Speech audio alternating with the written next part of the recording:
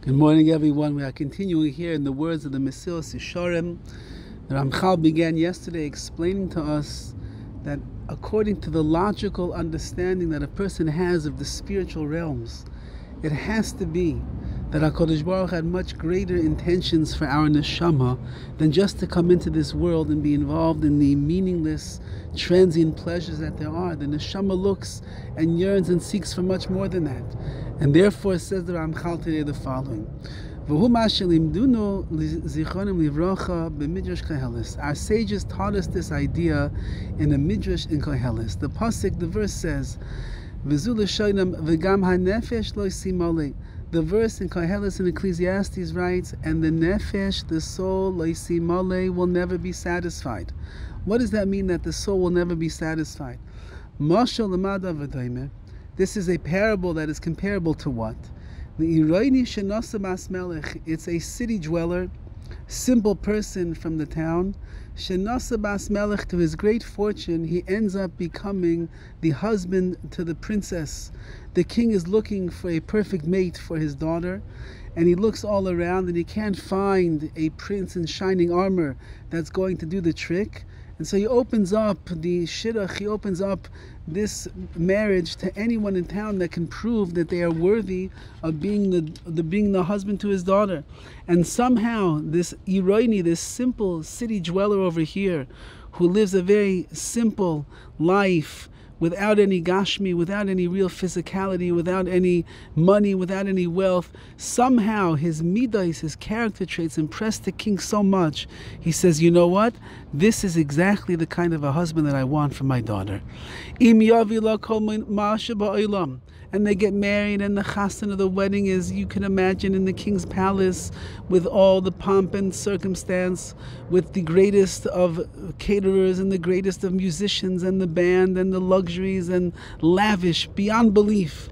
And after the wedding is over, so they leave the palace and they begin walking back to the house of the Irani, of this simple city dweller.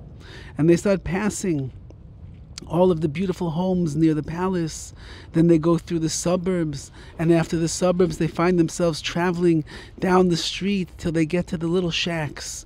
And he brings his princess into his shack, which he cleaned and he scrubbed, and he got made it perfectly, just the best that he could possibly do. If this simple person.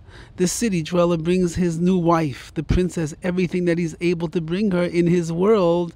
He took all of his money, he took all of his resources, he bought the best that he possibly could. Nevertheless, it's worthless in the eyes of the princess.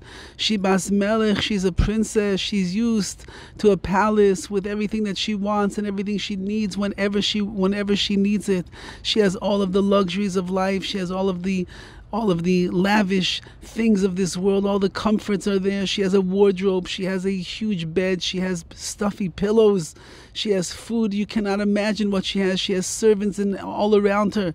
And now she comes into this little shack of her new husband over here who scrubbed the best that he could, who put on the best food on the table that he could, who made everything just look so no, but in her eyes, it's worthless. She's a princess. Because in her eyes, she, she knows what the best is really all about. Nefesh, the same thing is with our souls. If you will bring the nefesh, you'll bring your soul. All of the pleasures of this world, you bring it all the greatest food and the most beautiful vacations and the luxuries and all the comforts that society has to offer. Einam klum la. It's meaningless to the nefesh. Lama, why is the soul not impressed? Because the nefesh, the soul, is from the higher worlds. It came from a place called the Olam HaNeshamos, from the world of souls. It knows what true spirituality is. It knows what true bliss is. It knows what true devek is. Being close to HaKadosh Baruch is. That's the ultimate simcha, the ultimate pleasure and joy. You want to give it a steak? You want to give it some base desire that's going to have for five minutes, for five hours, for five years, and then it's going to end. And then what? And then what are you left with? Just empty yearning, gnawing inside the pangs of the neshama over there, looking for something more because the neshama knows what true greatness and true pleasure and true simcha really is all about.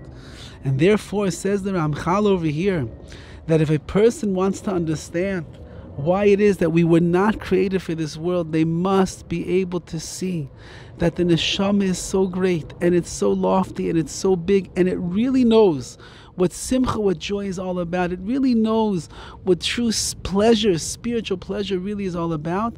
We would begin to realize that whatever we're going to offer our neshama here in this world, from all the pleasures and all the luxuries and all the comforts and all the gashmi, all the physicality there is, it means absolutely nothing to the neshama because the neshama knows what true pleasure and true value really is. Have a wonderful day.